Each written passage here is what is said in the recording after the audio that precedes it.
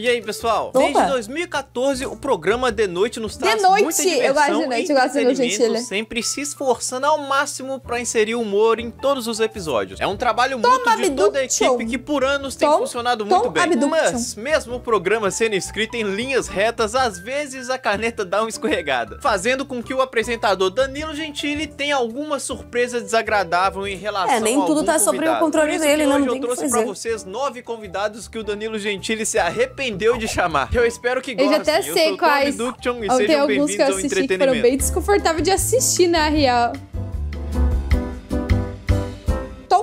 Humor. Cara, é da hora aí ele fez esses Eu negócios que eu vi com dele. um convidado que o motivo dele estar aqui nessa lista é muito simples. Qual? Mas eu vou explicar e vocês vão ver que é válido sim ele tá inserido aqui. E eu tô falando do MV Bill. Mas MV Tom, a Bill? entrevista com o MV Bill foi boa. Por que, que Eu ele se falar, eu assisti a entrevista com o? MV A primeira Bill, não vez foi que o MV Bill foi entrevista, assim, que deu entrevistado no The. Noite, o Danilo fez uma trollagem fingindo que havia quebrado o disco dele.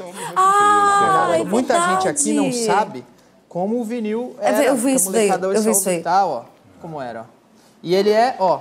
Ele, A cara tá dele. vendo? Ele não quebra. Ele não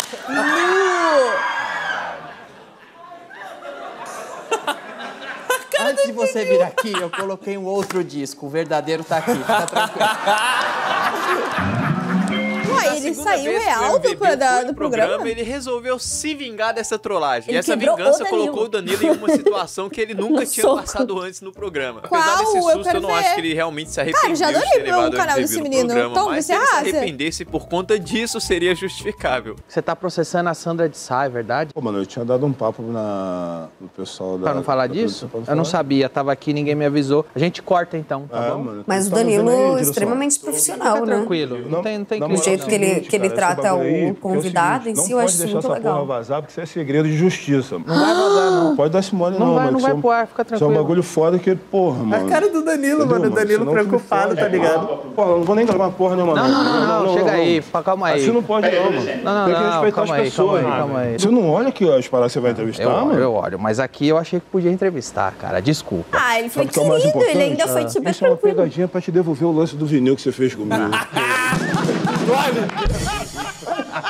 Mas o cara interpretou muito bem, velho. Ferrar, mano. Você tinha que ver sua cara ficando vermelha. Tadinho, tava assim. Pô, foi mal, que filha da porra. O Danilo já tava aqui, ó, gelado. Sabe qual, porra? Puta merda. Ai, ele fica mega sem graça. O Danilo fez uma reunião do multiverso do Chaves, Ah, reunindo esse é vários no Eu vi programa. um a ideia desse. era homenagear o seriado ao mesmo tempo que divulgava o trabalho dos sósias para o público. Tinha até uma banda que se veste de Chaves e canta músicas com tema de Chaves. Olha só que doideira. Olha isso, cara, que coisa linda. O Chaves gordo cantando metal. Que da hora. A banda do chá. Uh! Godines de baterista é muito bom. Acabaram de ouvir a abertura rock and roll dos netos da Dona Neve. Eu amei. É o Chaves Emucore. Mas houve um pequeno imprevisto que fez o Danilo Gentili se arrepender de ter convidado uma pessoa específica que Ah, não, foi a banda em no programa. geral. E era exatamente o cara que era sósia do Ah, Chaves, do- do- conhecido como Chaves do Metaleiro. Chaves Metaleiro. Era eu pra conheço estar essa nesse história. sofá, denúncia. Chaves Metaleiro. ele veio lá da Argentina, ele pegou um Ah, avião. Argentina. Chegou aqui, começou a reclamar do trânsito, não foi isso? Aí chegou aqui e começou a reclamar que o, o personagem do hotel falou que o hotel não está à altura. Ah, Ainda falei, vai ah, se ferrar, um garoto. hotel cara. E aí ele pegou e foi Ah, embora. hotel Vocês não estão tá vendo imagens altura. exclusivas. Mas o que, que tu quer, É Tilica? isso que dá confiar em Argentina, olha só. Não né? confia em Argentina. O Brasil ganha de novo, porque o Kiko africano tá aqui, o Nhonho do Brasil tá aqui, o Madruguinha Vamos do Brasil valorizar, tá aqui, né, os tá aqui, sósios É o Chaves brasileiros. argentino. Veio, Caraca, pegou mas ele é cachê, muito igual. levou embora. A próxima tá aqui na lista porque ela conseguiu a vergonha. peripécia de ser a convidada mais desanimada do programa. Bárbara Evans. Ah, mas essa mina ela é muito chata. Mas Eu já fiz uns 30 anos, na verdade. Eu tô ficando já incomodada com esses seis. Porque você tá morta. Eu já acho que passou os cinco já e já. Já é Nossa, ruim, até né? o jeito que ela Mais fala meio 30. morto, né? Eu tô ficando um pouquinho preocupada. Não, mas você tá bem, você tá com cara de 25. A Bárbara Evans Nossa, até apareceu no meu dela. vídeo aqui sobre os 10 piores convidados ele do The. Noite. É como se o programa The Noite fosse um navio e o desânimo da Bárbara Evans fosse uma âncora de tão pesado que tava. Acho Eu tenho é certeza sal, que teve né? gente na plateia nesse Ela é dia sem que sal. dormiu assistindo essa entrevista. Danilo e eu nem julgo, porque se eu tivesse na ainda, tipo, plateia esse arrancar dia, alguma coisa mulher, eu ia dormir mesmo se eu tivesse segurando uma granada sem pino. Você acha que o Danilo é talentoso? É talentoso também. Ela não desenrola nenhum assunto. Cada um tem seu talento, né? Nossa, parece que isso é Certa vez, dando velório. uma entrevista pro pessoal do Pânico, o Danilo Gentili se queixou de um ex-ator da Globo que foi dar entrevista no programa e agiu de forma snob, como se Nossa, é os estúdios Globo fosse o único Eu vi essa decente. no Ele sentou no sofá e, e- e falou assim: Quem diria, hein? Quem diria que um dia eu viria aqui, né? Meu Deus! Parabéns, hein, Danilo? Você fica com uma vontade, né, de entrevistar o cara. Olha que. Mas tem gente snob, né? Meu Deus.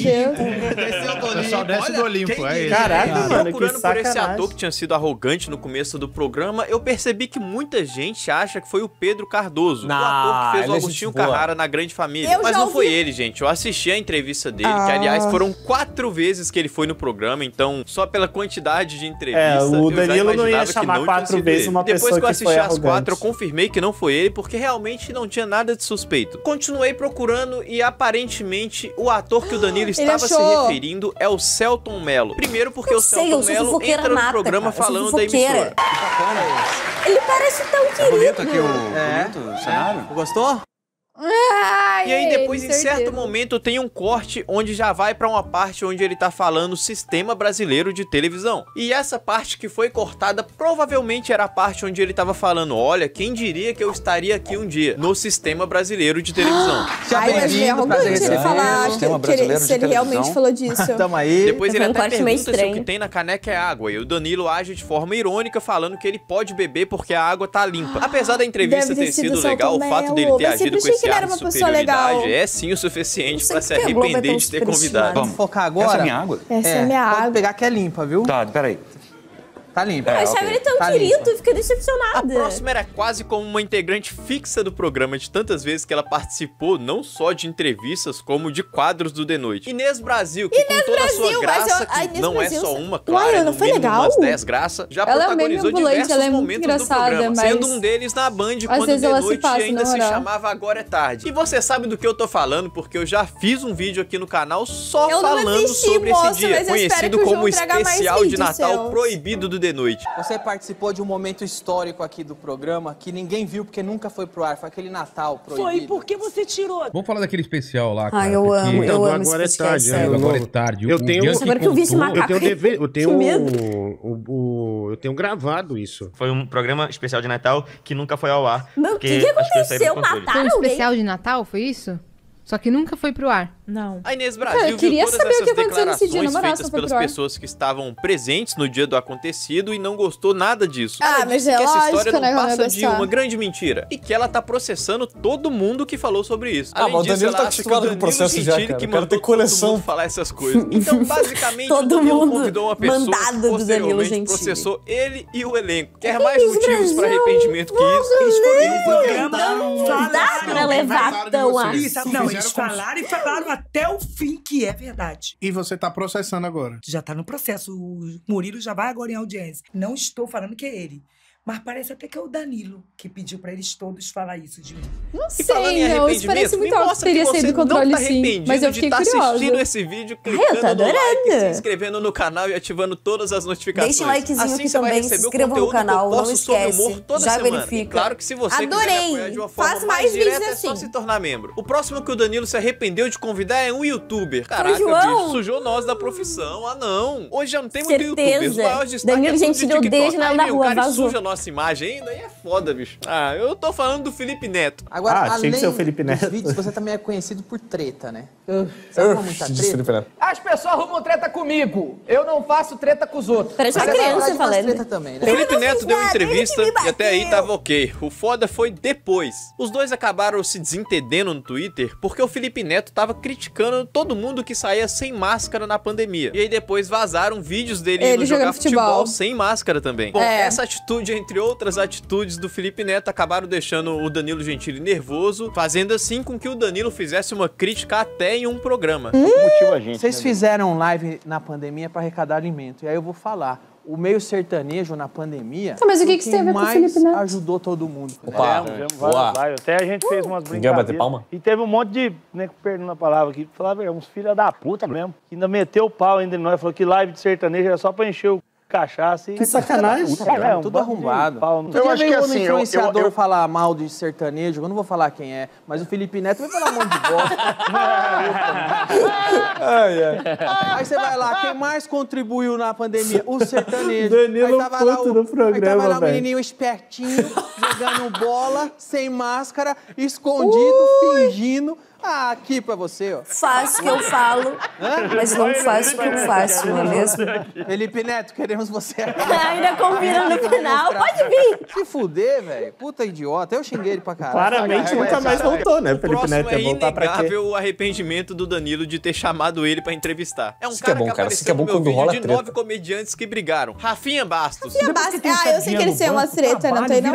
É pra mim, Rafinha Bastos e Danilo são tá inimigos naturais. Já tá tranquilo em casa, curtindo Não meus sei, eles têm uma vibe inimigos. Quer dizer, os meus, minhas centenas, é, a Vanessa Camargo tirou uma boa parte. Vanessa Camargo tirou uma boa Mas, parte. é, O Rafinha Eu foi bem adoro recebido no Bastos. programa e a entrevista fluiu legal também. Pois é, Afinal, parecia são de tava- tava de boa ali, né, a que a gente tá falando, né? Sim, Então eles são não tinha muito bons, cara, como a muito bons. entrevista não ficar divertida com os dois juntos. O problema foi depois quando o Rafinha Sempre Bastos tem foi esse em do outro depois, programa sempre e falou mal do Danilo depois. Gentili mesmo tendo acabado de ser entrevistado por Nossa, ele. que o Danilo falso. ficou sabendo disso e ficou bem chateado com o ocorrido. Tu é de mal com o Rafinha, cara? Sabia que o Danilo tinha não, sido eu- entrevistado no Ele foi com com você no começo? Muitas vezes. Ai, é. Monark. Eu, achei, é, eu achei bem Eu desleal. amo ele é um vocês juntos, cara. Porra. Quando você é legal, você é parceiro, e o cara é desleal, mais de uma vez, muitas vezes, o cara é egocêntrico, narcisista e só pensa nele e não pensa duas vezes antes de puxar seu tapete, eu me afasto. Isso é muito Eu falo, ah, chato, mais imagina. Você ajuda o cara e o cara vai lá e Rincha mete eu pau tenho, mas eu também não quero. Mas também não, não quer ser amigo. Porque falam todas que ele é um mau amigo, que eu né? tentei, eu só tomei no cu. Até a Não última dá vez pra que ele confiar foi em no qualquer programa, um. se você ver, ele pediu pra ir lá divulgar Ah, e ele o solo pediu, dele. o Danilo Tá falou no ele YouTube, eu, eu fui muito prestativo, eu divulguei, vendi bem o solo dele.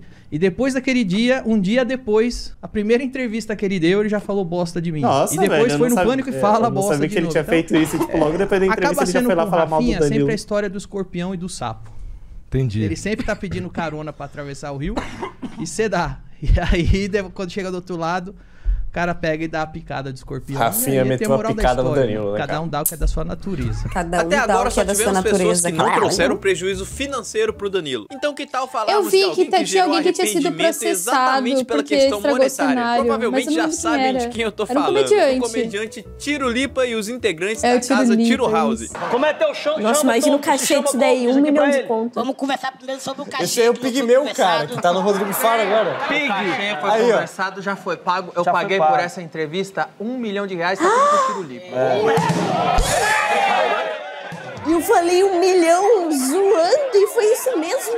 No final da entrevista deles aconteceu uma grande bagunça onde eles acabaram jogando coisas, derrubando coisas do cenário. É é velho.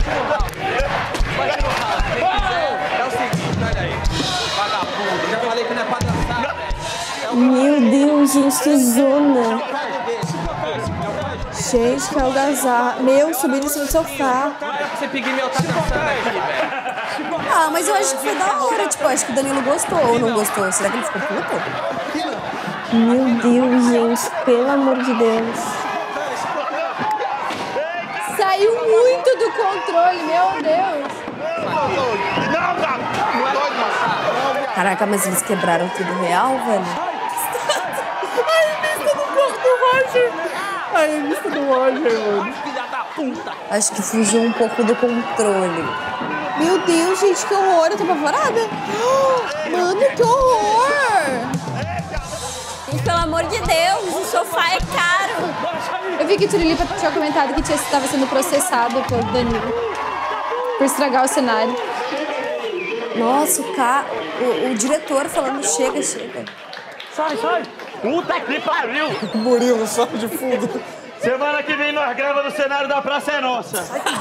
E essa Semana que vem brincadeira no no final da Praça gerou é um total de mais de 100 mil reais de prejuízo 100 que o Danilo teve que pagar do próprio Mas, bolso. pô, Os dois se desentenderam fora do assim, programa também, e isso 100 é algo mil? que aconteceu recentemente. Então a galera ainda tá meio que na dúvida se é tudo armado ou se os dois realmente estão brigados. Eu acredito que parece os ser dois armado, não estão com raiva um do outro, mas o prejuízo foi verdadeiro. Então É, eu acho que essa pode ser um treta pouco de- toda tem um dos fundo de dois. Eu acho que talvez eles tinham noção do que Traz mas não Juliana, naquela proporção, Obrigado. né? Obrigado. O que é isso aqui? Tem uma carta aqui? A carta de empréstimo, aquelas. Show de horror. Ok.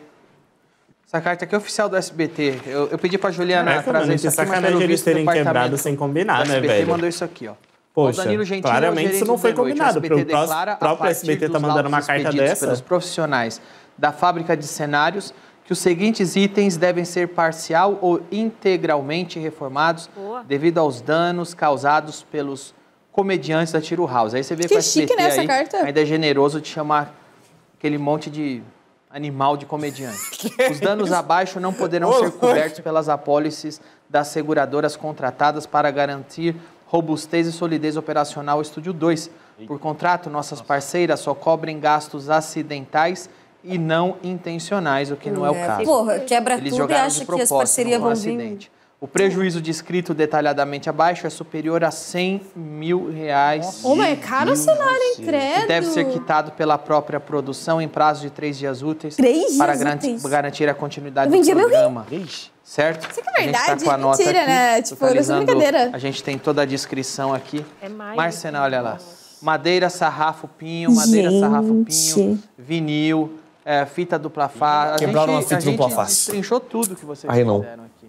Tá? Deu mais de 100 mil reais. É mais tá? de 100 mil, gente. Destruíram poltrona, gaveteiro, um cenário dos Meu, eu melhores tô achando que é real mesmo. cenográficos do Porque Brasil. o que a Danilo tá muito sério. Eu do- acho que do eu nunca e vi ele tão sério Então é falando. aí.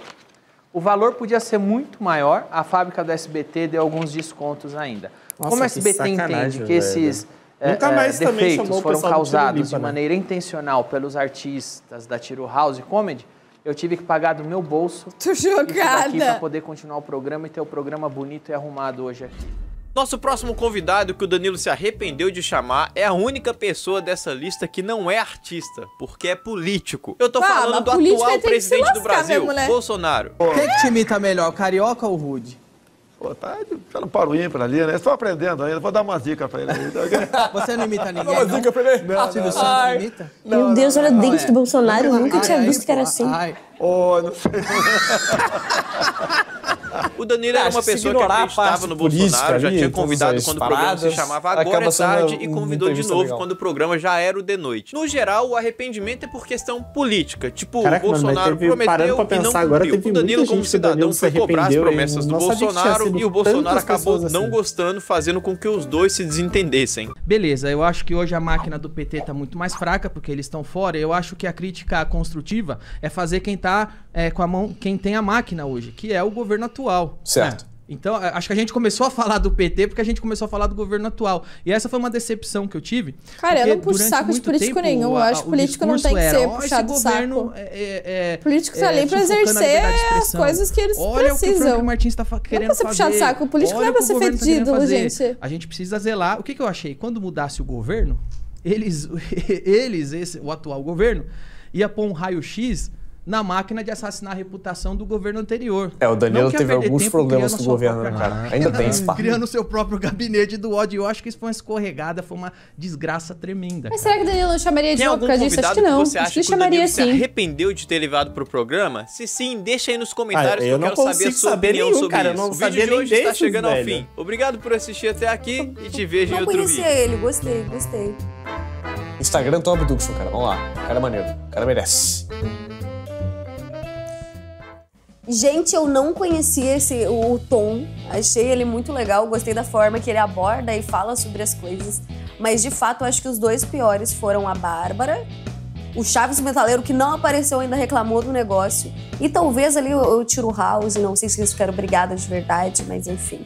Gente, eu amei esse vídeo. Eu amei o Tom, foi a primeira vez que eu vi um vídeo dele. Espero que vocês também tenham gostado. Então comenta muito aqui embaixo para pro João ver que vocês gostaram ele trazer mais.